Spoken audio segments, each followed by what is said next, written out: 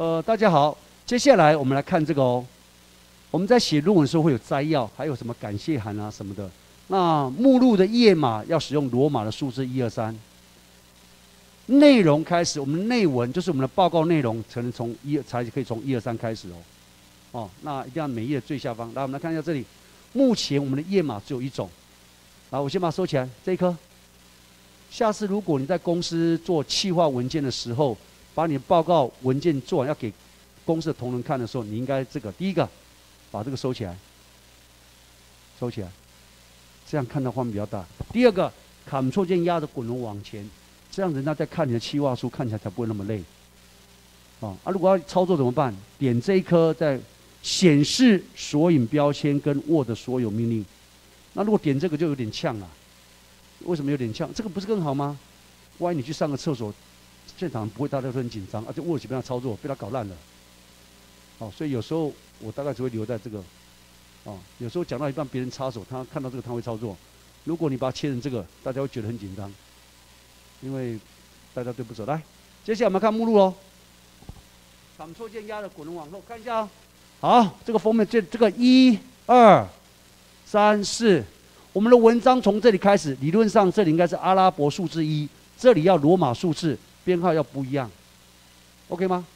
正式的论文就是这样。我们的内文是从农历春节，这里呢要阿拉伯数字，而且要从一开始。那上面这里呢，目录区。要使用罗马数字编码，要分两段。那这分两段的时候，注意哦。好，在这里，在最后面这里，来来来来来，在内文的上面这里，你要给他一个东西，那个东西呢叫做什么？分节。呃，那个分节在哪里？在版面这里，在版面这里，在版面这里，在版面这里，在这里，这里，这个。在版面配置这个，透过这个分节符号，这个分节不是章节的第二个层次节哦。这个节因为字一样，你要搞清楚这个节分节是完全不同的东西，你听懂吗？分解符号就是前面是一段，后面是一段，我们分开来算。你看哦，我再加了一个加了一个分页分解符号哦，有看到下一页吗？好，我在哪里加？一定是在内文这个位置加。来开始喽，在哪里加？版面配置给他一个什么？这个这个这个。老师，点下一页这里多了个空白，你按 Delete 删掉就好了。上来了，来来看一下，我加了个分解呢。那怎么看见？常用标签这边有个，上次有教过这一颗，有印象吗？你不点还真不知道这里有个分解符号。这一颗哈，只有这个时候才会出现，这个叫显示隐藏编辑。有了这个以后呢？好，就可以给它不同的编号。上面这一段，有没有看到一二三？我可以改成罗马数字的哦。怎么改？页码在哪里加？在这里加，就在这里改。那在页码的地方就会有个什么？页码的页码格式，你看见了吗？你看见了吗？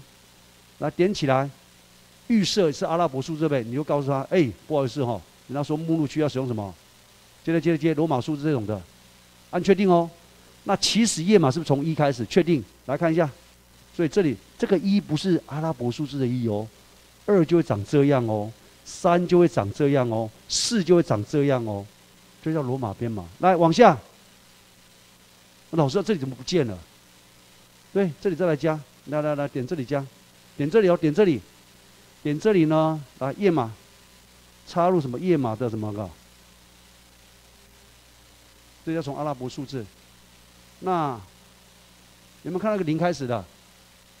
老师为什么会有零开始？你可以知道从一开始。嗯，不出来了哈？为什么不出来？我告诉你为什么不出来，因为封面页在干扰。我们的封面页有一个功能呢，你记得吗？封面页其实这里有个编码叫做零，它不出来。当你加了封面页以后，当你加了 Word 封面页以后呢？这个地方没问题，因为这里叫做零不出来，OK 吗？那一二三罗马数字这里没问题哦。可是碰到内文的时候呢，这一页就叫做零不出来。你听懂我在跟你说什么吗？零不出来，所以这里就变成什么二？哦，我这边不是设一吗？你要记得吗？这边设这个，来，我再改一下，来再改一下哦。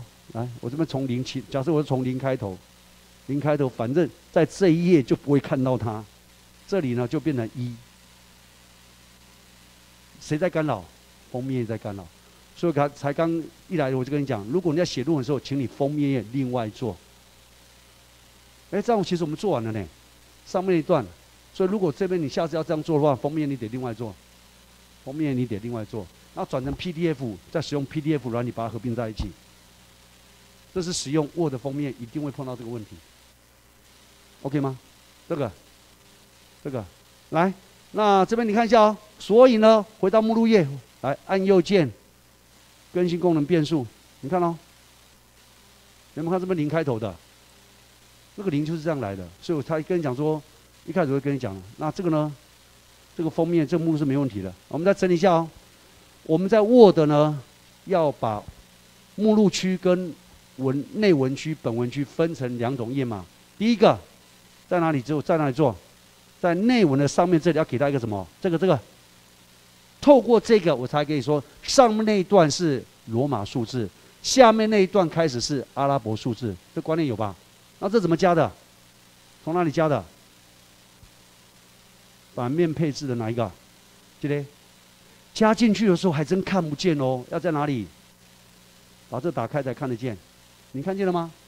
哦，这时候如果你滑鼠又不要移在这里，老师，我不要罗马数字了，我要 A B C 的。那点在这里怎么办？A B C 从这里插入，在哪里改？